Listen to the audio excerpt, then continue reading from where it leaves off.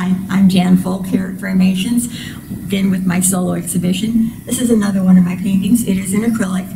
These um, clematis were growing, growing alongside my mailbox a year or two ago, and on Mother's Day I went out and painted it.